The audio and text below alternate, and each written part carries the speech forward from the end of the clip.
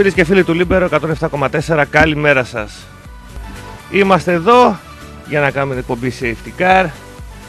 Μια εκπομπή λίγο ιδιαίτερη σήμερα, κακά τα ψέματα. Αν και ήταν δύσκολη η προηγούμενη, καθώς ήταν η τελευταία του φίλου, συνεργάτη, αδερφού Μάνου Αναγνωστόπουλου. Χθες λοιπόν έφυγε και από Θεσσαλονίκη. Αυτήν την ώρα ταξιδεύει για την άλλη την Ήπειρο. Οπότε είναι λίγο ιδιαίτερη για μένα, κακά τα ψέματα. 14 χρόνια μαζί, φίλοι συνεργάτες, είναι λίγο δύσκολο να ξέρεις ότι δεν θα είναι εδώ για μεγάλο χρονικό διάστημα. Α ελπίσουμε να είναι σύντομο για να γυρίσει. Έτσι, μια ευχή. Λοιπόν, παρόλα αυτά, έχουμε πολλά νέα του αυτοκινήτου. Θα έχουμε ε, παρουσίαση, μάλλον φίλο και συνάδελφο ο οποίος παρευρέθη στην παρουσίαση του ηλεκτρικού Opel Corsa στην ε, Γερμανία, στην ε, Φραγκφούρτη. Κατά τις 10 η ώρα έχουμε τηλεφωνικό ραντεβού, οπότε θα το βγάλουμε και θα μας πει πέντε πράγματα τι είδε, τι, ξέ, τι είδε μάλλον στην Φραγκφούρτη, τι υπόθηκε από τους υπευθύνους της Opel και ό,τι νέο έχουμε σε σχέση με το ηλεκτρικό αυτοκίνητο από την Opel. Έχουμε πάρα πολλά νέα, έχουμε νέα όπως το τι έγινε στην αγορά τον ε, Μάιο, ε, έχουν βγει ε, στη δημοσιότητα γιατί δεν προχώρησε το deal της ε, Fiat με, την, με τον όμιλο Renault. Πολλά έχουν συμβεί αυτό το διάστημα. Φυσικά έχουμε το γνωστικό τρίμερο Φόρμουλα 1 με το Grand Prix του Καναδά. πάρα πολλά τα νέα θέματα. Πάμε σιγά σιγά λοιπόν να ξεκινήσουμε την εκπομπή μας. Τρόποι επικοινωνίας με την εκπομπή. Γράφετε FM, αφήνετε κενό ό,τι θέλετε και αποστολή του μηνύματος στο 54526 μηνυματικά. Αν έχετε θέματα με τα μηνύματα στο facebook, στην ομάδα μας στο Safety Car, μπαίνετε, έχω κάνει συγκεκριμένο post και από κάτω λέτε τις καλημέρα σας και ό,τι άλλο εσείς θέλετε για να μπορέσουμε, αν έχετε κάποια ερώτηση ή κάποιο συγκεκριμένο πρέπει να ασχολεί με το αυτοκίνητο και μπορέσουμε να βοηθήσουμε, εδώ είμαστε. Ε, για τα νέα σας μπαίνετε στη σελίδα του facebook, στη σελίδα του safetycar.gr και για τα νέα www.safetycar.gr όλα τα νέα του αυτοκινήτου από εμάς. Προσπαθούμε να το έχουμε όσο γίνεται πιο ενημερωμένο καθώς ε, είναι δύσκολο το να τρέξεις και να κάνεις πολλά πράγματα μαζί. Παρ' όλα αυτό το κρατάμε σε πολύ καλό επίπεδο. Ε, www.safetycar.gr λοιπόν μπαίνετε, βλέπετε τα νέα αυτοκινήτου τα οποία είναι και αυτή την εβδομάδα πάρα μα πάρα πολλά. Χορηγός της εκπομπής Stock Center της Velmar το, κέντρο, το πρότυπο κέντρο μεταχειρισμένων αυτοκινήτων της Velmar του ομίλου Θήτα Βασιλάκη είναι αυτή τη στιγμή ένα από τα κορυφαία στην Ελλάδα. Γιατί; Γιατί σας δίνει πενταπλή εγγύηση στα μεταχειρισμένα. Πρώτον, καλή λειτουργία. Δεύτερον, εγγύηση πραγματικών χιλιόμετρων. Τρίτο, ότι είναι ατρακάριστο. Τέταρτο, καλύτερη τιμή. Και πέμπτο, επιστροφής χρημάτων. Πενταπλή εγγύηση δεν θα βρείτε πουθενά. Μόνο στο Stock Center της Velmar. Με δύο καταστήματα είμαστε από τη Γερού στη Θεσσαλονίκη. Μαρίνου Αντίπα 10 με τηλέφωνο 231 και το δεύτερο κατάστημα στο 1 χιλιόμετρο Εθνικής Οδού Θεσσαλονίκης Μουδανιών με τηλέφωνο 2310 474 174. Πάμε να ασχοληθούμε έτσι για πρώτη είδηση με την εγχώρια αγορά του αυτοκινήτου εδώ στη δική μας μικρή Ελλαδίτσα να δούμε πώς πήγαν τα πράγματα στον τομέα του αυτοκινήτου. Ε, τα μικρομεσαία μοντέλα λοιπόν έπαιξαν πολύ μεγάλο ρόλο στις ε, πωλήσεις καταλαμβάνοντας τις 11 πρώτες θέσεις στην ε, αγορά τον περασμένο μήνα που μας πέρασε το Μάιο ενώ το πρώτο SUV που ήταν το Nissan Qashqai βρέθηκε στη θέση νούμερο 12 των συνολικών, το συνολικών ταξινομήσεων. Είναι κάτι ιδιαίτερο αυτό για την Nissan. Υπάρχει μεγάλος ανταγωνισμός πλέον στα SUV. Ε, οπότε πάμε λίγο έτσι να δούμε μερικά ε, αυτοκίνητα. Ας πούμε η Alfa Romeo, η Giulietta που ακόμα ε, πουλάει είναι από τα βαριά χαρτιά της Αλφα ε, πούλησε 11 αυτοκίνητα.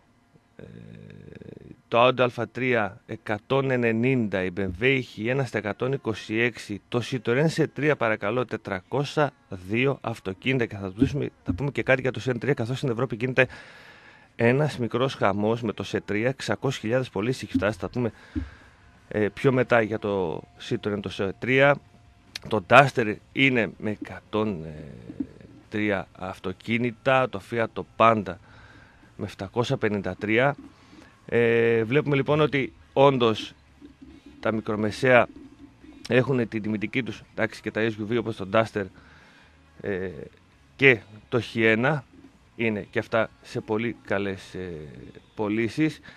Πήγανε καλά τα πράγματα. Ε, αν ταξινομήσουμε δηλαδή ότι πλέον έχουμε φτάσει τις 13.946 ε, πωλήσεις, συνολικές ταξινομήσεις, τον περασμένο μήνα. Πήγανε κάπως καλά τα πράγματα. Ε, τώρα έρχεται το δύσκολο το καλοκαίρι στην, ε, για τις πωλήσεις των αυτοκινήτων. Πάντα το καλοκαίρι προσπαθούν Ιούνιο-Ιούλιο να φορτσάρουν όλες οι εταιρείες καθώς ο Αύγουστος, για, ειδικά στη χώρα μας, είναι ο, μήνας, ο, ο νεκρός μήνας που λέμε. Όλοι με άδειες να φύγουν. Δεν είναι τόσο να κάτσουν να σκεφτούν να πούνε θα πάρω Αύγουστο το αυτοκίνητο. Όλοι τώρα θα φορτσάρουν καλοκαίρι και με προσφορές για Ιούνιο-Ιούλιο και τον Αύγουστο θα είναι ο μήνας που θα είναι περίεργη η αγορά, σίγουρα πιο υποτονική, με σκοπό να φορτσάρουν να μπουν οι εταιρείες πιο δυνατά από Σεπτέμβριο και μετά. Τα ηλεκτρικά αυτοκίνητα θα μπουν θέλοντας και μία εδώ στη χώρα μας σιγά σιγά στη ζωή μας. Ήδη γίνονται οι παρουσιάσεις εδώ και μεγάλο χρονικό διάστημα από τις εταιρείες. Βέβαια στην Ευρώπη και ειδικά στις βόρειες ε, χώρες το ζουν πιο έντονα. Οι αγορές εκεί πραγματικά ευνοούν το να αγοράσεις ηλεκτρικό αυτοκίνητο. Υπάρχουν και υποδομές και πολλά άλλα πράγματα. Εντάξει. Ε, το σκεπτικό των κυβερνήσεων εκεί πέρα πάνω είναι τελείως διαφορετικό από ότι τον δικό μας εδώ. Ε, τώρα, η Ευρωπαϊκή Ένωση πλέον έρχεται με, με σχετικό κανονισμό ο οποίος θα ισχύει από την 1η Ιουλίου του 2019 προκειμένου να περιοριστούν τα ατυχήματα στις πόλεις με ηλεκτρικά αυτοκίνητα και αυτό λέει ότι πλέον θα πάψουν τα ηλεκτρικά αυτοκίνητα να είναι αθόρυβα. Ε, το να οδηγήσει ένα ηλεκτρικό αυτοκίνητο ή ένα υβριδικό και να ξεκινήσεις και να δεν ακούς και όταν ξεκινάς δεν ακούς τίποτα ε, με τον ηλεκτροκινητήρα να παίρνει μπροστά και απλά να, ακούς το, να μιλαβείς μόνο το αυτοκίνητο χωρίς να ακούς κάποιον ήχο του, του αυτοκινήτου είναι κάτι που σου προσφέρει ηρεμία μέσα στο, στο αυτοκίνητο και το απολαμβάνεις, αλλά έχει αρνητικές συνέπειες στο, για τους υπολείπους οι οποίες είναι ευπαθείς ομάδες και δεν είναι εύκολο να αντιληφθούν το ένα αυτοκίνητο όταν είναι πεζί ε, στο δρόμο. Έτσι λοιπόν ε, από την 1η Ιουλίου θα τεθεί σε εφαρμογή ο κανονισμός με αριθμό 540 κάθετος 214 του Ευρωπαϊκού Κοινοβουλίου και Συμβουλίου ο οποίος προβλέπει την υποχρεωτική τοποθέτηση συστήματος ε, ακουστικής προειδοποίησης του ε, οχήματος στα αθόρυβα αυτοκίνητα, δρεβικά, ηλεκτρικά και αμυγός ηλεκτρικά. Η ισχύ του κανονισμού αφορά τη ηλεκτρικά και πλακίνη δρεβικά οχήματα που θα λάβουν έγκριση τύπου από την 1η Ιουλίου 2019 και μετά και όχι όσα θα πουληθούν μετά ε, τη συγκεκριμένη, μάλλον και όχι όσα θα πουληθούν μετά τη συγκεκριμένη ε, ημερομηνία. Έτσι λοιπόν πλέον και έρχεται ένας κανονισμός από την Ευρωπαϊκή Ένωση για να μπορέσει να σταματήσει όσο γίνεται ε, τα όποια ατυχήματα θα συμβούν με ανθρώπους οι οποίοι είναι είτε τυφλοί είτε πίζοι με προβλήματα όρωσης και ακοής ή ακόμη και με τους ποδηλάτες και με τα παιδιά. Ε, το συγκεκριμένο σύστημα θα λειτουργήσει σε ταχύτητες έως τα 20 χιλιόμετρα και θα παράγει ήχο τουλάχιστον 56 decibel δεν θα ξεπερνά τα 75 και αφορά όλα τα επιβατικά επαγγελματικά οχήματα. Ο ήχος θα εκπέμπεται και όταν το όχημα θα κάνει όπισθεν όπως ισχύει στα φορτηγά και στα λεωφορεία. Σα είχαμε πει ότι το Citroën C3 όντως ξεπουλάει. Πραγματικά η εμπορική του πορεία ξεπερνά κάθε προσδοκία για τη Citroën, σπάζοντας το ένα ρεκόρ μετά το άλλο. Δεν είναι τυχαίο ότι στους 30 μήνες από την έναρξη της παραγωγής του το νέο γενιά C3 έχει πουλήσει περισσότερο από 600.000 αυτοκίνητα. Μάλιστα το πρώτο πεντάμινο φέτος οι παραδόσεις στην Ευρώπη έφτασαν τις 110.000 λαμβάνοντας την τέταρτη θέση όσον αφορά τα πιο δημοφιλή μοντέλα στην κατηγορία Β που είναι και το Citroën C3. Τώρα, τα στοιχεία που έχει δώσει η Citroën είναι το ότι το 40% των αγοραστών του C3 επιλέγει την πλουσιότερη πάντα εξοπλιστικά έκδοση, το 65% το παραγγέλει με διχρωμία στο αμάξωμα, το 55% τοποθετεί χαρακτηριστικά air pump, αυτά τα πλαστικά στα, στις πόρτες στο πλάι και το 25% πληρώνει για έξτρα χρωματισμό στις εσωτερικές επενδύσεις. Είναι κάτι το οποίο η Citroën το εφαρμόζει εδώ και καιρό, τη διχρωμίες, το να μπορέσεις να κάνεις όσο γίνεται ε, μοναδικό για τα δικά σου γούστα το αυτοκίνητό σου ε, το, το σχετικά το Citroën σε 3 και επειδή στο δίνει απλόχερα Citroën ο αγοραστής έχει τη δυνατότητα να μπορέσει να παίξει με τα χρώματα και με οτιδήποτε άλλο του δίνει τη δυνατότητα Citroën για να μπορέσει να κάνει όσο γίνεται πιο δικό του στα δικά του γούστα το νέο Citroën σε 3. Και κάτι τελευταίο έτσι πριν πάμε στο διαφημιστικό διάλειμμα την ε, ταινία για τη ζωή του Άιρτον Σένα που βγήκε στους κινηματογράφους οι περισσότεροι την έχουμε δει. Ήρθε το Ρας με τη ζωή του Νίκη Λάουντα του έμεινε στον Νίκη Λάουντα να τη δούμε και αυτή. Πλέον το Hollywood έχει στραφεί προς το χώρο του αυτοκινήτου και ιδιαίτερα μεγάλων κατασκευαστών αυτοκινήτων με ιστορία στο χώρο έτσι λοιπόν πλέον ετοιμάζεται η ταινία Ford εναντίον Ferrari. Το Hollywood λοιπόν ε, θα μας δείξει ε, την κόντρα που γίνεται στις 24 ώρες του Λεμάν το 1966. Εκεί λοιπόν οι δύο ηθοποιοί, ο Matt Damon και ο Christian Bale θα εισανκώσουν την κόντρα μεταξύ Ford και Ferrari.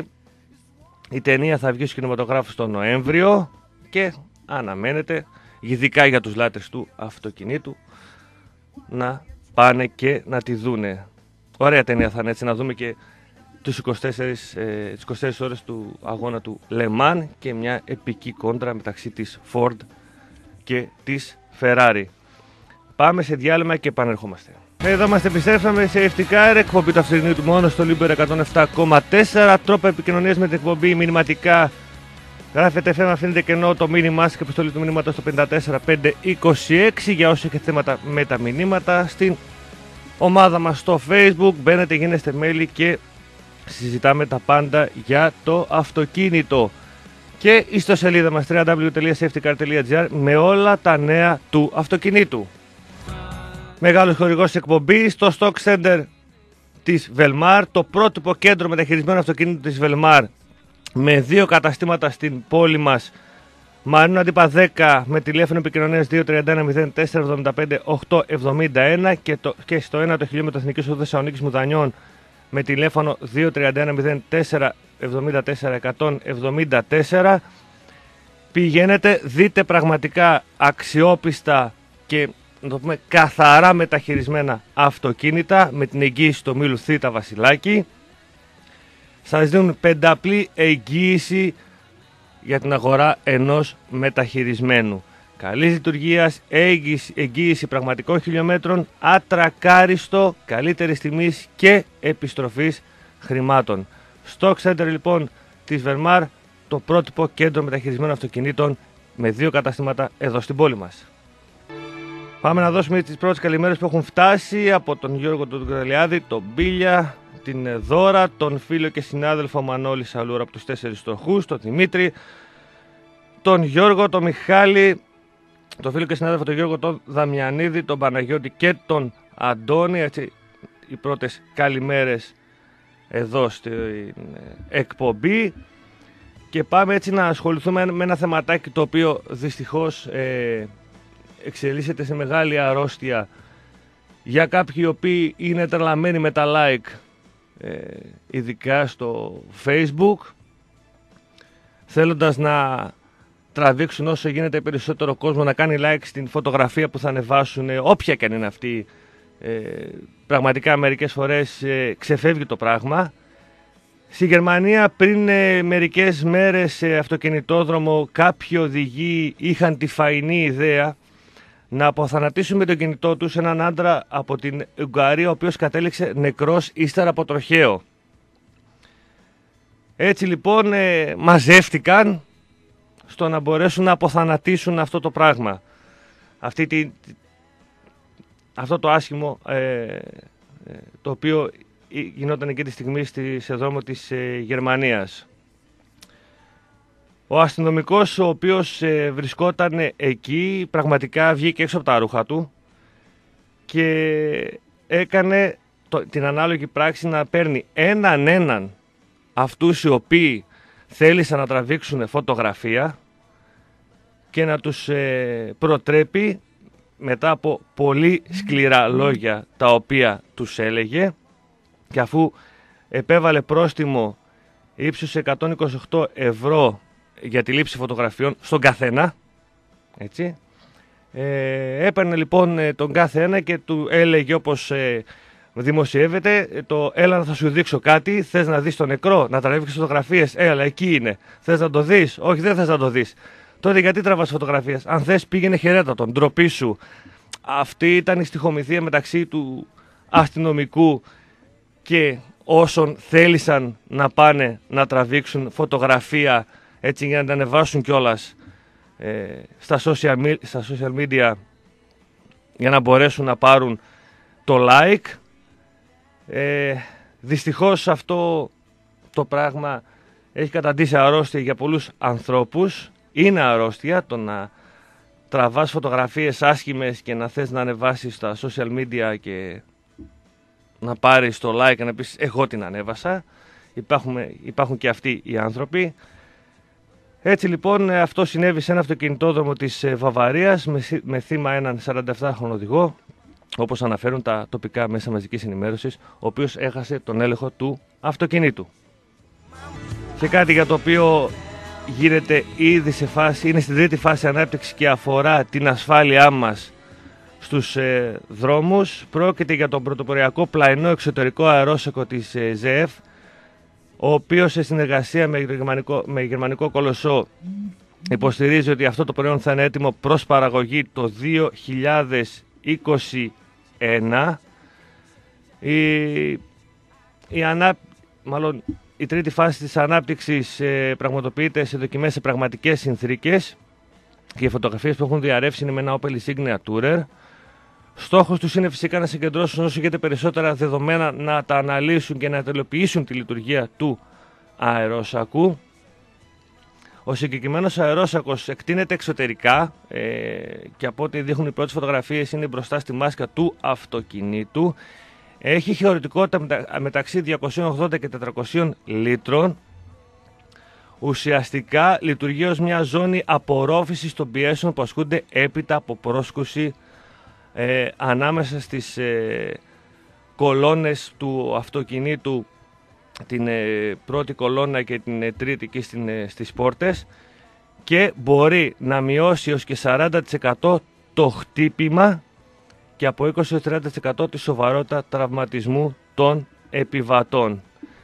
Βλέπετε λοιπόν οι εταιρείες δεν σταματάνε, προσπαθούν να εξελίσσουν όσο γίνεται περισσότερο ε, στον τομέα της ασφάλειας δυνατότητες και πράγματα τα οποία θα μπορέσουν να μειώσουν δυστυχώς τα ε, θανατηφόρα ε, ατυχήματα. Έτσι λοιπόν από το 2021 όπως αναφέρει το δημοσίευμα θα είναι έτοιμο να βγει σε γραμμή παραγωγής ο εξωτερικός αερόσακος. Η συνεργασία των εταιριών των κατασκευαστών αυτοκινήτου δεν σταματά. Μία συνεργασία λοιπόν ήρθε να επιβεβαιωθεί με δελτίο τύπου ε, τις ημέρες που μας πέρασε. Είναι ανάμεσα στην BMW και την Jaguar Land Rover οι οποίοι πάνε μαζί για παραγωγή ηλεκτρικών αυτοκινήτων. Είναι δύο εταιρείες που θα αναπτύξουν από κοινού την επόμενη γενιά των ε, ηλεκτροκινητήρων. Οι δύο πλευρές λοιπόν θα εδώσουν τις δυνάμεις τους για την κατασκευή των ηλεκτροκινητήρων και μπαταριών. Ήδη η BMW διαθέτει πολύ μεγάλη εμπειρία από το 2013 με το ανασάρισμα του i3 από το οποίο ήταν ε, το πρώτο έτσι αμυγός ηλεκτρικό το οποίο βγήκε από την ε, BMW ενώ η Jaguar παρουσίασε πρώτα, πρόσφατα το ηλεκτρικό SUV I-Pace το οποίο είναι και ευρωπαϊκό και παγκόσμιο αυτοκίνητο της χρονιάς έτσι λοιπόν οι δύο εταιρείες μέσω της στρατηγικής συνεργασίας θα περιορίσουν φυσικά αυτό γίνεται για περιορίσουν τα κόστη για την έρευνα το κόστος για την έρευνα είναι πάρα πολύ μεγάλο, οπότε θα μοιραστεί ανάμεσα στις δύο εταιρείες. Θα γίνει ανάπτυξη και παραγωγή, μειώνοντας φυσικά παράλληλα και το χρόνο ανάμεσα για την όλη διαδικασία. Έτσι λοιπόν, μια κοινή ομάδα ειδικών από τους δύο ομίλους θα εγκατασταθεί στο Μόναχο με πρώτο στόχο να εξελίξουν τη νέα γενιά ηλεκτροκινητήρων της BV και στη συνέχεια η κατασκευή τους θα γίνεται στις εγκαταστάσεις της κάθε εταιρείας. Η Mercedes με την τεχνογνωσία πλέον που έχει στους κινητήρες την είχε εδώ και χρόνια αλλά πλέον με την εμπλοκή της στη Φόρμουλα 1 εκεί τα πράγματα έχουν ξεφύγει γι' αυτό έδωσε πλέον και στη δημοσιότητα ε, το νέο κινητήρα που έφτιαξε πρόκειται και όπως λέει η Mercedes είναι ο καλύτερος δίλητρος κινητήρας του κόσμου οι μηχανικοί της Mercedes AMG λοιπόν δημιούργησαν ένα ολοκένουργιο μοτέρ χωρητικότητας 2 λίτρων που αποδίδει την εκπληκτική ισχύ των 421 ύπων. Ο νέος κινητήρας λοιπόν δίλητος με κωδική ονομασία Mi 139 είναι ο ισχυρότερος τετρακύλινδος τούρμπο της ιστορίας της ε, Mercedes. Αναπτύχθηκε στο κέντρο ε, της ε, Mercedes με τη συναρμολόγησή του να γίνεται στο χέρι ακολουθώντας τη φιλοσοφία one man one engine, δηλαδή ένας άντρας, μία μηχανή. Τώρα να πάμε έτσι να πούμε και τις επιδόσεις. Δίλητρος, 421 έπι, 500 ρανιμόμετρα ροπής, δηλαδή 211 ύπους αναλύτρο. Επίσης θα προσφέρεται και σε μικρότερη έκδοση με 387 ύπους και 480 νημόμετρα ροπής.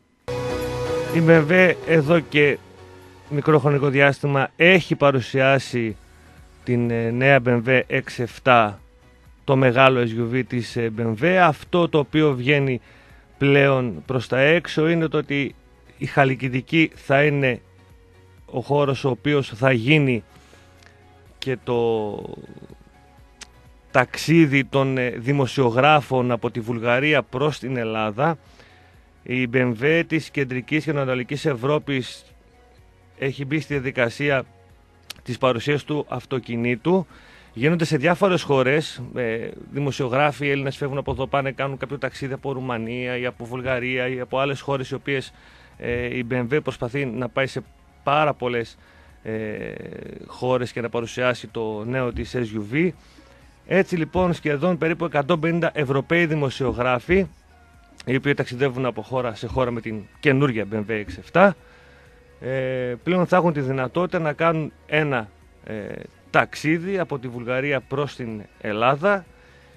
Και έρχοντας στη χώρα μας λοιπόν θα επισκεφτούν τη Χαλκιδική και θα βρεθούν ειδικά στο πρώτο πόδι της Χαλκιδικής. Καλό αυτό, επίκεντρο η Ελλάδα, φωτογραφίες πολλές, παρουσίαση του ταξιδιού από τους Ευρωπαίους δημοσιογράφους, διαφήμιση της χώρας μας από την βαβαρική εταιρεία που δίνει τη δυνατότητα σε Ευρωπαίους δημοσιογράφους να έρθουν με την EBV 7 εδώ στη χώρα μας και να απολαύσουν το ταξίδι με το νέο εκπληκτικό SUV της BMW. Για όσους θα θέλουν να αγοράσουν, να μπουν στη δικασία να αγοράσουν ένα Jeep, πλέον οι νέες τιμές έχουν αναρτηθεί στο επίσημο site της Jeep στην ε, χώρα μας Πλέον η Jeep έχει περάσει στα χέρια του ομίλου της ε, Fiat εδώ στην ε, Ελλάδα. Έχει φύγει από τον όμιλο Συγγελίδη. Πλέον η Fiat έχει αναλάβει την εισαγωγή διανομή των αυτοκινήτων και το after sales. Έτσι λοιπόν, πλέον έτσι στην ιστοσελίδα της ε, μάρκας ανατήθηκε ο ανανεωμένος τιμοκατάλογος με τις τιμές των Renegade, Compass, Wrangler και θα ακολουθήσει και το Cherokee να είναι προς διάθεση του κοινού για να δει πώς μπορεί να αποκτήσει ε, ένα Jeep. Υπάρχουν πολύ καλά χρηματοδοτικά προγράμματα Οπότε όσοι είστε λάτρεις της Jeep μπείτε στην ιστοσελίδα της πλέον οι νέες τιμές για τα μοντέλα και που ξέρετε ίσως γίνετε κι εσείς ένας κάτοχος ενός θρηλυκού Jeep. Πάμε σε διαφημιστικό διάλειμμα λίγο νωρίτερα, 5 λεπτά νωρίτερα για να μπορέσουμε να βγάλουμε τον ε, Παντελή Πατέλο, φίλο και συνάδελφο δημοσιογράφο, να μας πει μερικά πράγματα για το ηλεκτρικό Opel Corsa που και βρέθηκε στην παρουσίασή του. Εδώ είμαστε επιστρέψαμε, κομπή Safety Car, με όλα τα νέα του αυτοκινήτου, μόνο στο Libre 107,4. Μεγάλος ερεχορηγό εκπομπής στο Stock Center της Βελμάρ, το πρότυπο κέντρο μεταχειρισμένων αυτοκινήτων της Βελμάρ, μέλος του ομίλου Θήτα Βασιλάκης, είναι στην πόλη μας με δύο καταστήματα. Μαρίνο Αντίπα 10 με τηλέφωνο επικοινωνίας 231 0475 871 και στο 1 το χιλιόμετρο Εθνικής Οδού Θεσσαλονίκης Μουδανιών με τηλέφωνο επικοινωνίας 231 0474 174 και ο πιο σημαντικός λόγος για να επιλέξετε ένα μεταχειρισμένο από, την, από το Stock Center της Βελμάρ είναι η πενταπλή εγγύηση που δίνει στα μεταχειρισμένα, καλή λειτουργία, εγγύηση πραγματικών χιλιόμετρων, ατρακάριστο καλύτερης τιμής και επιστροφής χρημάτων. Πάμε να καλημερίσουμε τον καλό φίλο και συνάδελφο από το Ότο Τρίτη, τον ε, Παντελή το Πατέλο. Παντελή, καλή σου μέρα. Καλημέρα, καλημέρα Τάσο. Τι κάνουμε, όλα καλά; Όλα καλά, δέξω το Θεό.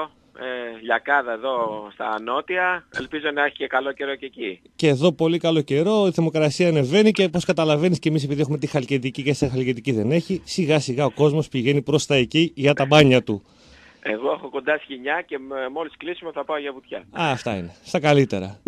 Λοιπόν, ο λόγος που σε έχουμε εδώ στην εκπομπή είναι το ότι βρέθηκες με το περιοδικό στο οποίο ε, είσαι επαγγελματικά στο Ότο Τρίτη στην ε, ναι. παρουσίαση του ηλεκτρικού Opel Corsa εκεί στην ε, Φραφκούτη στο Ρούσελχάιμ, έτσι δεν είναι; Ναι, ναι, ακριβώς. Και όχι μόνο του Opel Corsa. Ήταν, είδαμε να περνάει για λίγο μπροστά μας και το υβριδικό Graland X Hybrid 4 το οποίο μαζί με το Corsa ήταν η προάγγελη της, ε, της ε, εποχής που η Opel μπαίνει στη ηλεκτροκίνηση με τον ένα ή τον άλλο τρόπο.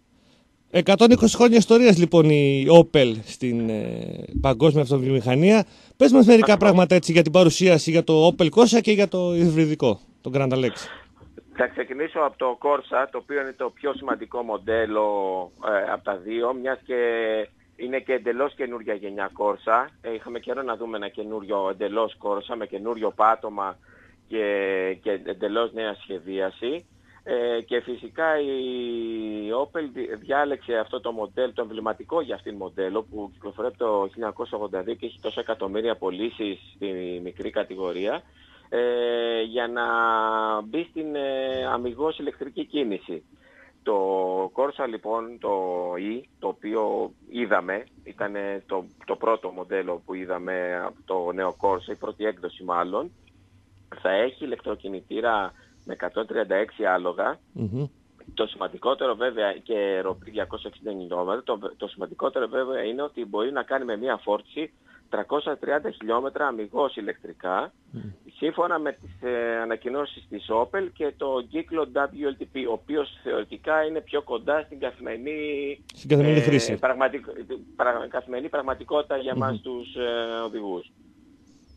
Ε, το συγκεκριμένο Opel ε, έχει και εντελώς νέα σχεδίαση, έχει κάποια χαρακτηριστικά τα οποία θέλουν να τονίσουν την ε, ε, τάση για ηλεκτρική, δηλαδή έχει χαμηλώσει το ύψος, ε, έχει στενέψει λίγο, παρ' όλα αυτά δείχνει πιο πλατή γιατί, χάρη στη νέα σχεδίαση που έχει και όλα αυτά έχουν για να έχει καλύτερη αεροδυναμική και άρα καλύτερη, μεγαλύτερη αυτονομία στην ηλεκτρική, με ηλεκτρική κίνηση. Δηλαδή μπορεί να το μικρύναμε, αλλά χώρους έχουμε. Χώρους δεν μπήκαμε μέσα να δούμε, αλλά θεωρητικά εφόσον δεν έχει το ύψος ε, θα έχουν φροντίσει, έχουν χαμηλώσει και τη θέση οδήγησης, θέλουν να δώσουν και πιο σπορ χαρακτηριστικά. Ε, φαντάζομαι ότι δεν θα έχουν πάει προς τα πίσω, θα έχουν διατηρήσει την πολύ καλή ευρυχωρία που είχε μέχρι τώρα το Corsa. Σωστά, όντως. Ε, να φανταστείς ε, ότι το για το ηλεκτρικό Corsa δίνει ότι θα έχει 0% σε 8,1 δευτερόλεπτα, το οποίο είναι μια επίδοση σπόρο αυτοκινήτου. Βέβαια όλα τα ηλεκτρικά έχουν αυτή την τάση να είναι γρήγορα γιατί έχουν όλη την ε, ροπή από τις μηδέν στροφές. Ακριβώς. Και θα έχει και προγράμματα λειτουργίας, normal, eco και Sport, ο οποίος θα αλλάζουν ανάλογα και την ε, απόδοση του κινητήρα και την αυτονομία. Δηλαδή προφανώς το Eco θα έχει μεγαλύτερη ε, αυτονομία και κάποιος, κάπως ε, ε, επιδόσεις ενώ, αλλά και την συμπεριφορά με ανάλογη επίδραση στο τιμόνι και, σε, αλλά και στο κυβότιο, το οποίο θα είναι αυτόματο βέβαια, έτσι. Σίγουρα. Και να φανταστούμε ότι σίγουρα δεν λείπει ε, συστήματα ασφαλείας τα οποία έχουμε στα δι... συμβατικά αυτοκίνητα, θα έχουν πλέον και στα ηλεκτρικά. Full, full συστήματα βέβαια, θα έχει τα super, τα φώτα, το σύστημα φώτων της Opel, το Intel Lux LED που κάνουν τη νύχτα μέρα, ε, όλα τα συστήματα ενεργητικής ασφάλειας που σε κρατάνε στη λωρίδα και όλα αυτά. Ε, και ναι, αυτά.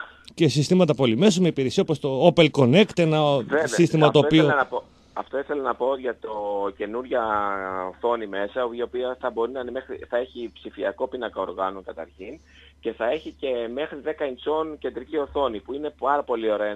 Το αυτοκίνητο δεν μπορούσαμε να, να ανοίξουμε να μπούμε μέσα. Το έχουμε δει όμως με το εσωτερικό και από εκεί το είδαμε απ' έξω. Θα είναι πολύ, είναι πολύ όμορφα ενσωματωμένη στο ταμπλό. Και να πούμε εδώ ότι παρόλο το ότι το, ε, αυτό είναι κάτι γνωστό, αλλά το Corsa θα μοιράζεται κινητήρα και μηχανικά μέρη και πάτωμα με το 208 το καινούριο και το αντίστοιχο ηλεκτρικό. Μέσα δεν υπήρχε καμία μόνο ίσως με τον ολευγές του αυτόματου κυβωτίου που είναι καθαρά αυτός ο έτσι λίγο avant-garde ε, διαστημικός ε, που έχει χρησιμοποιεί η Peugeot στα ηλεκτρικά της, στα αυτόματά της, συγγνώμη. Μάλιστα. Και πάμε λίγο για το υβριδικό. Για το υβριδικό, αυτό μας το... να πούμε ότι το Corsa έχουν ανοίξει, μπορεί να το παραγγείλει κάποιος αυτή τη στιγμή στη Γερμανία τουλάχιστον και ότι η τιμή ε, με την οποία είναι διαθέσιμο στη βασική έκδοση είναι 29.990 ευρώ. Πολύ είναι λίγο τσιμπημένη τιμή. Καλή τιμή πάντως για πρώτη δόση. Για, για πρώτη, ναι. Απλά για ένα σχέση με ένα συμβατικό είναι ναι. λίγο παραπάνω. Βέβαια τα πράγματα όπως ξέρουμε στα ηλεκτρικά είναι θέμα το κόστος της μπαταρίας. Αυτά με τον καιρό θα πέσουν σιγά σιγά τα, ε, το σχετικό κόστος και θα μειωθούν και οι τιμές.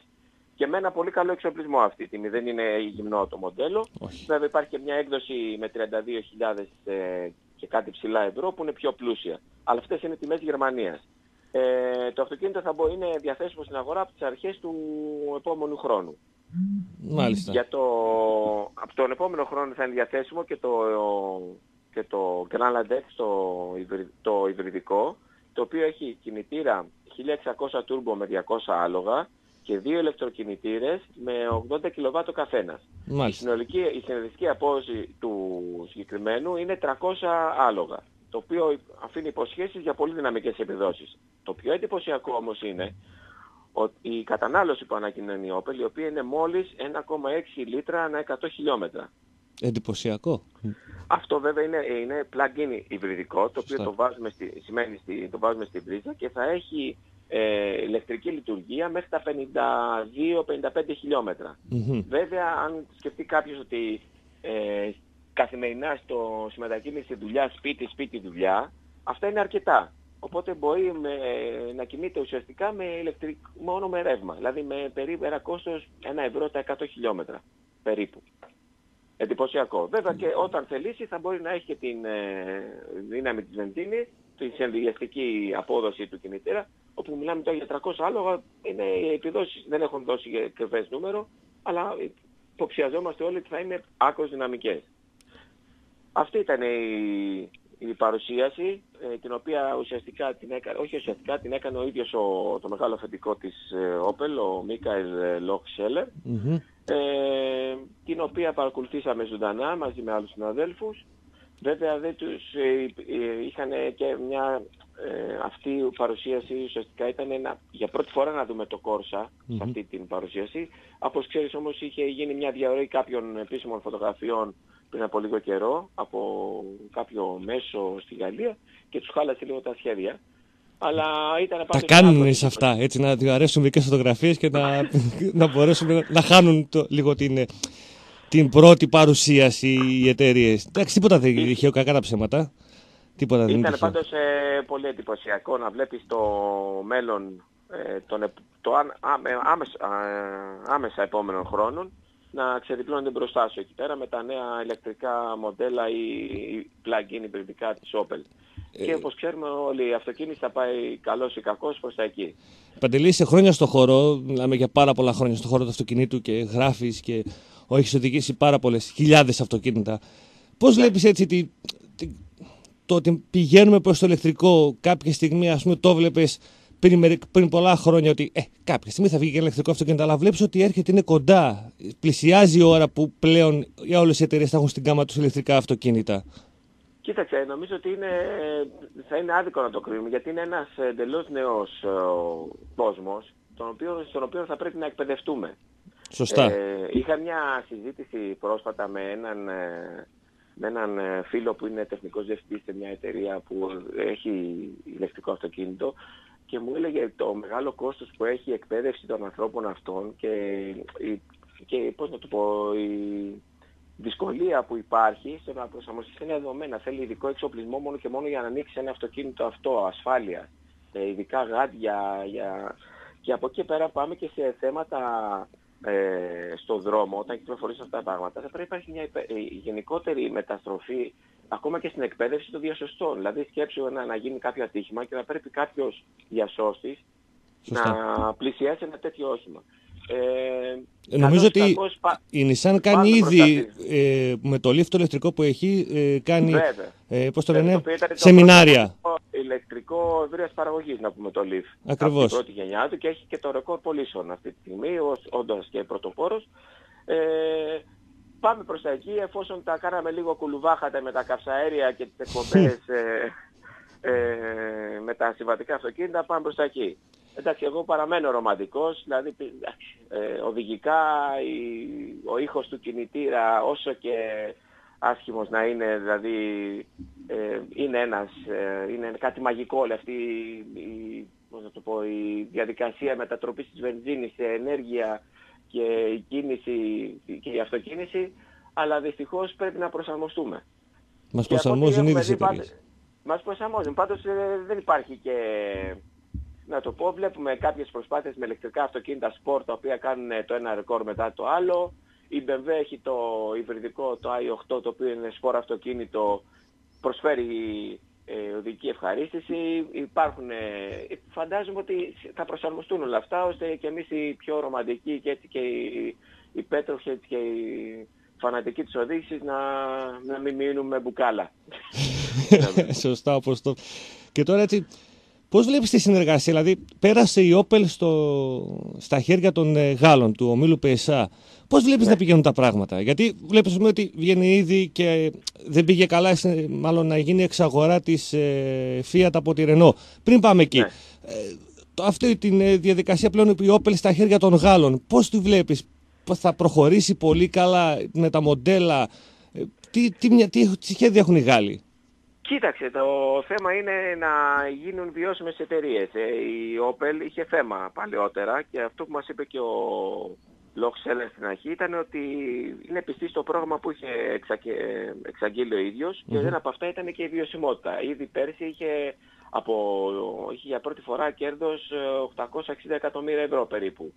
Ε, οι συνεργασίες καλό είναι να υπάρχουν, πιστεύω, εφόσον δεν υπάρχουν η δυνατότητα για ε, αυτόνομη παρουσία ε, γιατί εξασφαλίζει βιωσιμότητα, κάποιο, ε, βιωσιμότητα κάποιων εταιριών.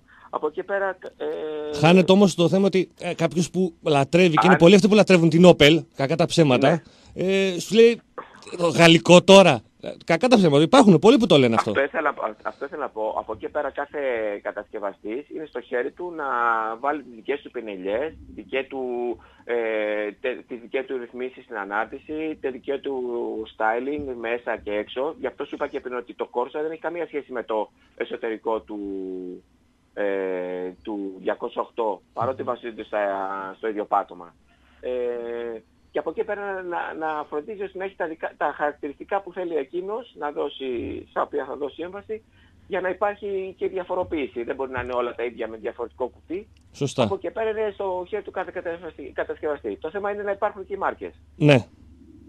Άμα δεν... Ε, καλό είναι να είναι όλα αυτά, ναι, είμαι ο πελάκιας κλπ. Αλλά άμα δεν, η μάρκα δεν υπάρχει, δεν θα έχει και νόημα μετά να είμαι κάτι.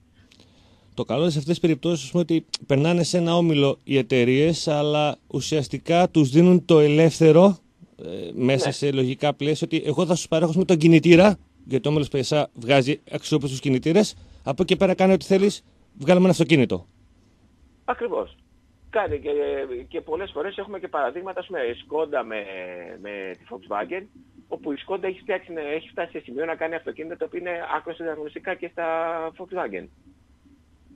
Αυτό λειτουργεί ως θετικό, γιατί κακά τα ψέματα, όταν είσαι σε ένα νόμιλο με πολλές μάρκες, ε, το να δημιουργείς, ε, εντάξει, δημιουργείς ανταγωνισμό μέσα στις εταιρείες σου, αλλά ουσιαστικά ε, παίρνεις πωλήσεις από το άλλο το οποίο θέλεις να προωθήσεις. Δηλαδή, παραδείγματος χάρη Volkswagen που έχει πληθώρα εταιριών ε, στον όμιλό της, η Skoda έχει φτάσει πλέον, όπως είπες, σε επίπεδα να χτυπάει στα ίσια τη Volkswagen. Ναι, ακριβώς. Ε, αυτό δημιουργεί και ανταγωνισμό. Τώρα και οι υπόλοιποι δεν θα κάτσουν με σταυρωμένα χέρια, θα θέλουν και αυτοί να δώσουν μια απάντηση. Ίσως να λειτουργεί και να κάνουν και λίγο τον γκολφ πιο φθηνό από το σκάλα σε σχέση με το σκάλα, το οποίο μπορεί να είναι άμεσα ανταγωνιστικό. Να το δούμε, δεν το έχω οδηγήσει. Καταλαβαίνεις τι να πω. Ε, ο ανταγωνισμός πάντα λειτουργεί θετικά πιστεύω και κυρίως για τον ε, καταναλωτή. Σίγουρα ο ανταγωνισμό σε εμάς βοηθάει πάρα πολύ γιατί κακά τα ψέματα όταν βγαίνει αρκεί κάτι να καλύτερο. Και παροπίδες, έτσι. Αρκεί να μην έχει και παροπίδες. Δηλαδή να μην πεις ότι α, δεν το παίρνω γιατί είναι σκόντα. Αν είναι καλύτερο, φθηνότερο ποιοτικότερο σε κάποια σημεία ή πρακτικότερο σε κάποια άλλα και με, το, με την ίδια ασφάλεια, με ίδιους σύγχρονους κινητήρες, γιατί να μην το προτιμήσω. Επειδή είναι σκόντα, η παλιότερα είχε, ας πούμε, δεν είχε το, το, το, brand, ε, το super brand όνομα, όχι να το πληρώσεις βέβαια αυτό.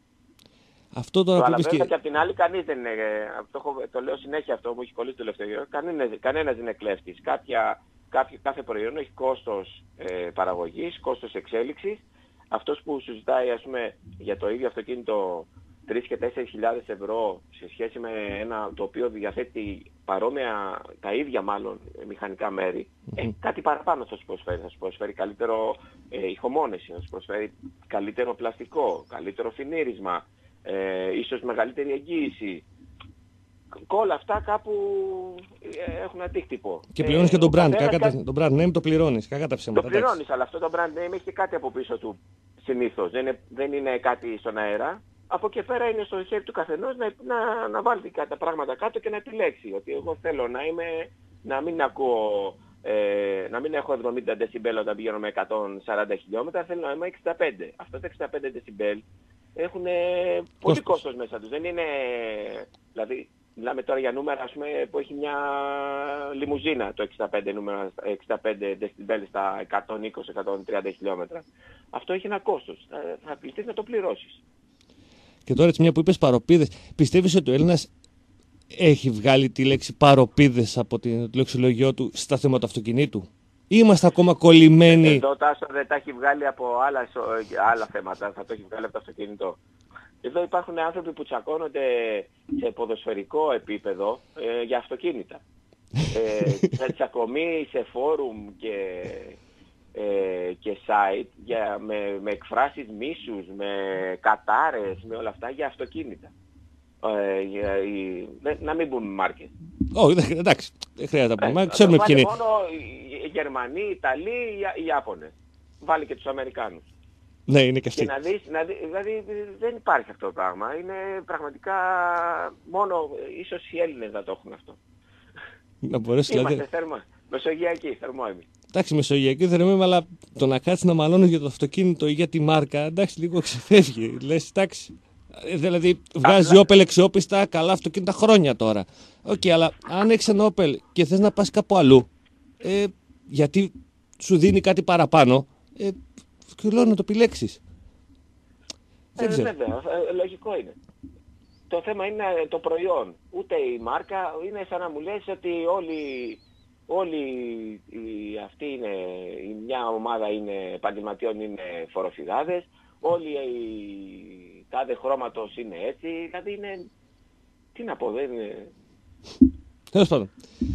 Ας ελπίσουμε κάποια στιγμή να, μπορέσουμε. Θα μου πεις εδώ στο θέμα της ασφάλειας και είμαστε. Εντάξει. Πάντως, ε, εντάξει, ο, ο κόσμος γενικότερα και με την ενημέρωση που υπάρχει τώρα βλέπουμε ότι ε, δεν, έχει, δεν έχει κολλήματα, ίσως μόνο με το Station έχει λίγο κόλλημα ακόμα στην Ελλάδα, αλλά ε, βλέπουμε και πωλήσεις ε, ε, μαρκών ε, που ήταν θεωρητικά να πούμε, πιο χαμηλού κόστους και Dacia και Skoda και αυτά ανεβαίνουν. Και πουλάνε και καλά και βγάζουν και καλά αυτοκίνητα. Πλέον υπάρχει εξοπιστία στον χώρο του αυτοκινήτου, υπάρχει από όλες τις εταιρείες. Κάποτε έλεγε ότι μόνο από τον Ιάπωνα θα δεις εξοπιστία, αλλά αυτό πλέον δεν ισχύει. Ισχύει ότι η Ιάπωνας έχει εξοπιστία, ναι, αλλά υπάρχουν και άλλες εταιρείες που έχουν εξοπιστία. Ε, βέβαια. βέβαια. Και εντάξει, υπάρχουν και οι εγγυήσεις και βλέπει κανείς και την κάθε εταιρεία.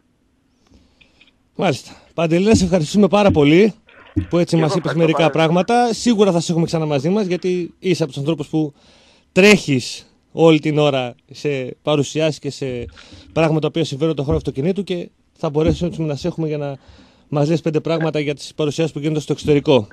Ευχαριστώ. ευχαριστώ. Να είσαι καλά, φίλε Παντελή. Θα τα πούμε σύντομα με κάποιο άλλο. Βεβαίως. Να είσαι καλά. Καλημέρα. Καλημέρα. Αυτός λοιπόν ήταν ο Παντελής ο Πατέλος από το Ότο Τρίτη. Μας είπε μερικά πράγματα για την παρουσίαση του ηλεκτρικού Opel Corsa και του υβριδικού Grand X το οποίο παρουσιάστηκαν στην ε, Φραγκφούρτη, στο Ρούσελχάιμ, στο εργοστάσιο ε, της ε, Opel. Πάμε σε διαφημιστικό διάλειμμα και επανερχόμαστε.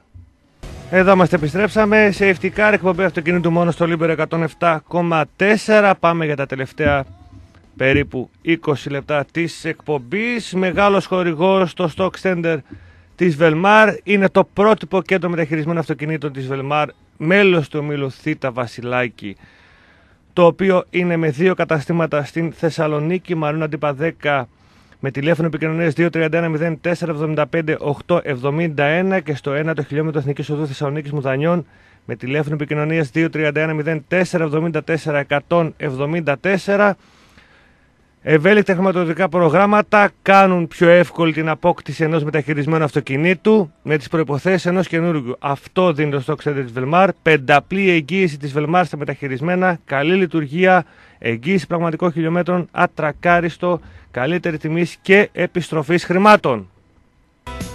Το Hyundai Kona όλοι το γνωρίζουμε πλέον οι, Κορεα... οι Κορεάτες το στέλνουν και υβριδικό με 141 ύπους. Οι Κορεάτες λοιπόν εμπλωτίζουν την κάμα τους με του Compact SUV του Kona με την υβριδική έκδοση η οποία αναμένεται να λανσαριστεί στην Ευρώπη ε, μέσα στο καλοκαίρι. Το Kona Hybrid τροφοδοτείται από 1600 κινητήρα της σειράς K και ένα ηλεκτροκινητήρα με τη συνολική απόδοση να φτάνει τους 141 ύπους και 265 ενημόμετρα ροπής. Ε, η κίνηση μεταφέρεται στους τροχούς μέσω αυτόματου κυβωτίου 6 σχέσεων, επιδόσεις 0-100 σε 11,2 δευτερόλεπτα και η τελική να αγγίζει τα 160 χιλιόμετρα την ε, ώρα. Η μπαταρία είναι η όντων λιθίου χωρητικότητα 1,56 kW. Ανακτά ενέργεια κατά την ε, πέδηση. Με τη μέση κατανάλωση που δίνει η Hyundai να είναι στα 3,9 λίτρα ανά 100 χιλιόμετρα. Προσφέρεται με δεκεζάντες 16 ιντσών και 18 ε, οι πρώτες φωτογραφίες έχουν ε, διαρρεύσει, χρωματισμοί εκπληκτικοί, πακέτα φυσικά ενεργετικής και παθητικής ασφάλειας από τη Hyundai σίγουρα ε, μέσα στο εξοπλιστικό πακέτο του μοντέλου οπότε περισσότερα μέσα στο καλοκαίρι που θα γίνει και το λανσάρισμά του στην Ευρώπη. Το Brexit όλοι το γνωρίζουμε, θα γίνει, δεν θα γίνει, θα φύγουν, δεν θα φύγουν ε, οι Άγγλοι από την Ευρώπη. Έχει πραγματικά ε, κοστίσει πάρα πολύ στην Βρετανική οικονομία. Έρχεται λοιπόν να συμπληρώσει ε, η ανακοίνωση της Ford ότι κλείνει το εργοστάσιό της στην Ιουαλία λόγω των προβλημάτων που θα δημιουργήσει τη βιομηχανία το λεγόμενο Brexit.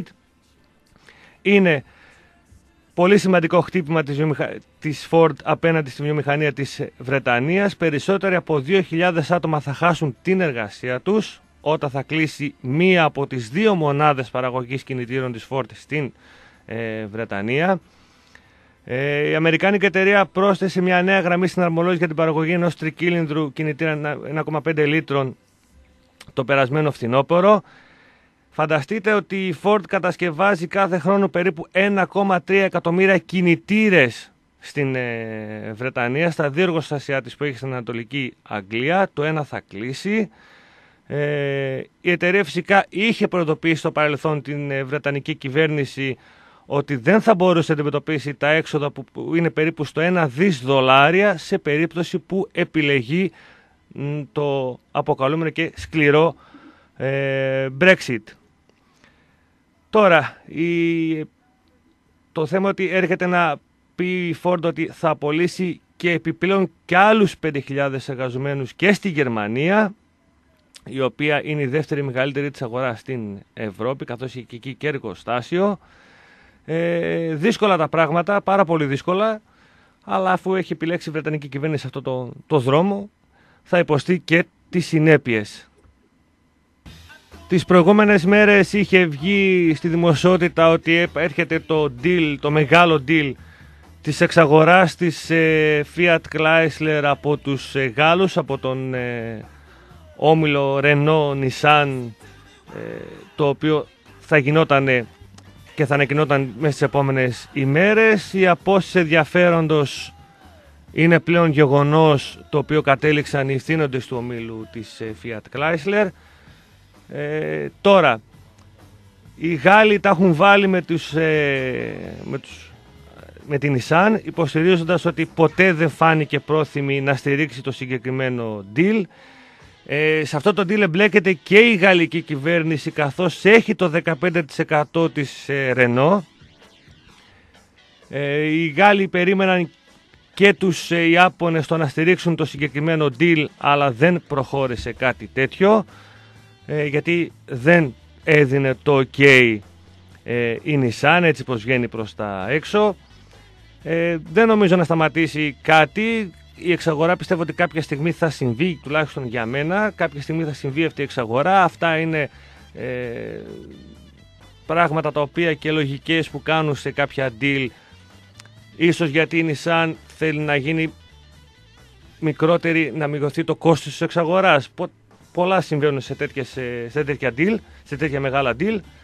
Ε, τώρα από εκεί και πέρα για να δούμε αν οι Γάλλοι θα είναι αυτοί που όπως, σώσαν, ε, όπως έσωσαν μάλλον την ε, Opel με την εξαγορά της θα μπουν στη δικασία να σώσουν και τον ε, Ιταλικό κατασκευαστή αυτοκινήτων, τον όμιλο όλων συγκεκριμένων για να μπουν πιο δυνατά στο παιχνίδι του αυτοκινήτου και θα είναι πλέον ε, αν γίνει και αυτή η εξαγορά, ο δεύτερος μεγαλύτερος κατασκευαστής, ε, όμιλος κατασκευαστής αυτοκινήτων στο παγκοσμίως.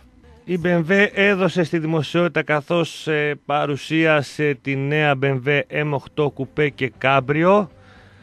Πρόκειται πλέον για τα δύο πιο ισχυρά μοντέλα στην κατηγορία M της βαβαρικής εταιρείας. Ε, η παρουσίασή τους θα ουσιαστικά θα τα δουν από κοντά τα νέα μοντέλα της BMW M ε, και θα γίνουν παγκόσμιες πρεμιέρες κατά τη διάρκεια του BMW Group Next Gen το οποίο θα πραγματοποιηθεί στο Μόναχο 25 με 27 Ιουνίου. Εκεί θα τα δουν θα γίνει παγκόσμια παρουσία τους και θα δουν από κοντά οι δημοσιογράφοι. Τώρα για τις επιδόσεις. Στη νέα λοιπόν BMW M8 Coupé και M8 Cabrio ο κινητήρας αποδίδει μέγιστη ροπή 750 νημόμετρα ροπής από τις 1800 έως 5600 στροφές. Ε, υποδύναμη φτάνει τα 600 άλογα στις 6.000 στροφές. Εκπληκτικές οι, ε, οι επιδόσεις. Τώρα δεν λείπουν φυσικά οτιδήποτε έχει να κάνει με την ε, τεχνολογία στο θέμα του κινητήρα και ό,τι αυτό συνεπάγεται από την M, την εταιρεία η οποία ε, κατασκευάζει τους κινητήρες και δίνει την, ε, ό,τι τεχνογνωσία έχει στην, ε, στα συγκεκριμένα αυτοκίνητα. Φυσικά θα, η, η, μετάδοση θα είναι με το οκτατάχυτο κυβότιο το αυτόματο, το M Streptonic, το οποίο πραγματικά είναι ένα κυβότιο ταχυτήτων εκπληκτικό, ίσως από τα καλύτερα που υπάρχουν αυτή τη στιγμή παγκοσμίως.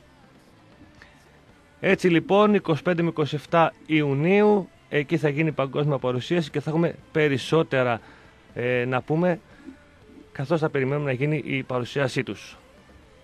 τρόπος να αγοράσεις ένα αυτοκίνητο υπάρχουν πολλοί. Ένας ε, διάλεξε έναν περίεργο τρόπο να αγοράσει ένα, το καινούργιο το όχημα στην ε, Κίνα. Το αυτοκίνητο λοιπόν που αγόρασε ο απίστευτος Κινέζος κοστίζει 24.450 ευρώ. Τα 7.750 ευρώ τα μετέφερε ηλεκτρονικά από το λογαριασμό του και τα υπόλοιπα λοιπόν τα έδωσε μετρητά. Μόνο με μετρητά δεν ήταν χαρτονομίσματα, ήταν κέρματα.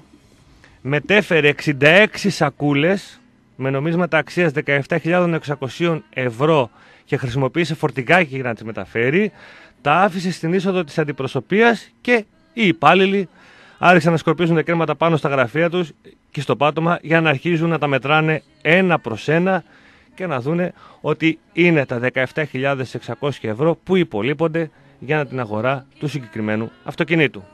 Τρεις μέρες κάνανε για να τα μετρήσουν και έχουν βγει και τα σχετικά βιντεάκια που δείχνουν όντω τους υπαλλήλους να είναι στο πάτωμα με τα κέρματα και να μετράνε ένα-ένα.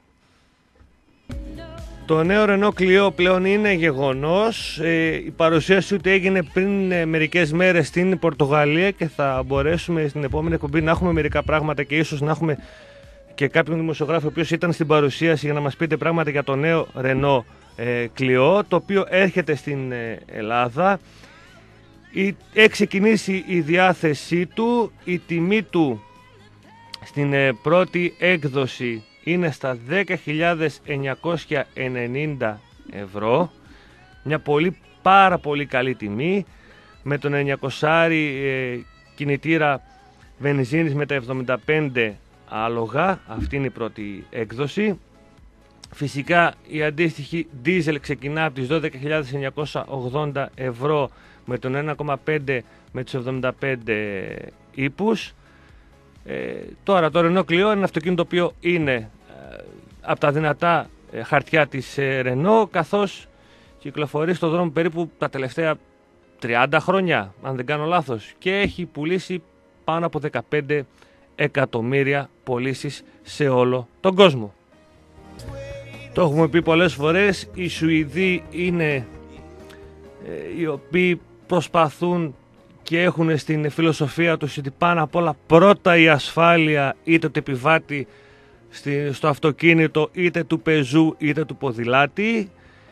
Έτσι λοιπόν ε, η Volvo συνεργασία με σουηδική μάρκα στο, στην ε, κατασκευή σπόρ εξοπλισμού ασφαλείας ε, έχει μπει σε σειρά δοκιμών με επίκεντρο την σύγκρουση ανάμεσα αυτοκίνητο και κράνη ποδηλάτη. εδώ και πάρα πολύ καιρό γίνονται αυτές οι δοκιμές πρόσκρουσης στο σε καταστάσεις του κέντρου ασφαλείας της Volvo στο Γκέτεμπορκ. Αποτελεί φυσικά ένα ερευνητικό πρόγραμμα με σκόχο που έχει την κατανόηση ε, των, και του είδους των μακροχρόνων τραυματισμών τους οποίους υφίστανται ήδη κυκλιστές. Ε, οπότε μπήκα σε αυτή τη διαδικασία εδώ και πάρα πολύ καιρό και αναμένονται να βγουν και τα αποτελέσματα τα οποία θα τα αξιοποιήσουν η Volvo και η εταιρεία η οποία κατασκευάζει τον, τον εξοπλισμό, το σπόρο αυτό εξοπλισμό κράνη και οτιδήποτε άλλο έχει να κάνει και με δίκυκλα και με τα ποδήλατα για να μπορέσουν να βάλουν στόχο την αποφυγή ατυχημάτων και όσο γίνεται μην ε, θανατηφόρων ή τραυματισμών ε, ανάμεσα στα αυτοκίνητα της Volvo και με τους ποδηλάτες ή με τους δικυκλιστές. Φουλ ηλεκτρικά λοιπόν και για την ε, Toyota. Η Ιαπωνική εταιρεία δεν θα μείνει πίσω, θα επιταχύνει πάρα σε μεγάλο βαθμό το πρόγραμμα εξέλιξης ηλεκτρικών αυτοκινήτων και θα παρουσιάσει 6 παγκόσμια, θα λανσάρει μάλλον 6 παγκόσμια ηλεκτρικά αυτοκίνητα. Έτσι λοιπόν σιγά σιγά έρχεται και η Toyota να μπει σε αυτή τη διαδικασία, καλό το υβριδικό που λάνσαρε, καλό όλα τα υπόλοιπα, αλλά βλέπει ότι μένει πίσω στο θέμα του ηλεκτρικού αυτοκινήτου. Έτσι λοιπόν μπαίνει στη διαδικασία όσο γίνεται πιο σύντομα και στα επόμενα ε, χρόνια να μας παρουσιάσει ηλεκτρικά αυτοκίνητα. Στόχος είναι την περίοδο από το 2025 έως το 2030 οι πωλήσεις οι μισές πωλήσεις στο Toyota να αντιστοιχούν παγκοσμίως σε ηλεκτρικά και υβριδικά μοντέλα αυτοκινήτων. Πριν κλείσουμε, πριν φύγουμε και σας αφήσουμε στα χέρια του Γιώργου Συρίγου, να πούμε ότι έχει αγωνιστικό τρίμερο της ε, Φόρμουλα 1 Grand Prix στο Καναδά, στην πίστα Ζιλ Villeneuve. Ε, εκεί λοιπόν οι κατατακτήριες θα είναι σήμερα στις 9 η ώρα το βράδυ με 10 και ο αγώνας αύριο θα είναι στις 9 και 10. Ήδη οι πρώτες ε, κατά οι πρώτοι μάλλον χρονομετρημένοι ε, χρόνοι έδειξαν την ε, Mercedes πραγματικά πάρα πολύ δυνατή. Πάει με αναβαθμισμένο κινητήρα η Mercedes στον Καναδά, με ότι αυτό συνεπάγεται. Έξι αγώνες 1-2, θέλουν να κάνουν τον 7ο. Για να δούμε λοιπόν αν θα τα καταφέρει η Mercedes και η οποία πάει ολοταχώς για το επόμενο παγκόσμιο πρωτάθλημά της τόσο στους κατασκευαστές όσο και στους οδηγούς μιας και η Ferrari δεν δείχνει να, αντιμετωπί, να αντιμετωπίζει την κατάσταση με πολύ σοβαρό ε, τρόπο και δίνοντας έτσι με λευκή πετσέτα για μένα το πρωτάθλημα χωρίς ανταγωνισμό ιδιαίτερο στους Γερμανούς και στη Mercedes. Εδώ λοιπόν κάποια στιγμή θα σας αφήσουμε, θα τα πούμε το επόμενο Σάββατο στις 9 η ώρα το πρωί με πλούσια θεματολογία για, του χώρο, για το χώρο του αυτοκινήτου. Ίσως μπορέσουμε να έχουμε και κάποια πραγματάκια επιπλέον τις παρουσιάσεις που γίνανε στην Ευρώπη και βρέθηκαν Έλληνες δημοσιογράφοι εκεί να μας πούνε δύο λόγια. Τα λέμε λοιπόν το επόμενο Σάββατο σε 9 ώρα. Να έχετε ένα καλό Σαββατοκυριακό.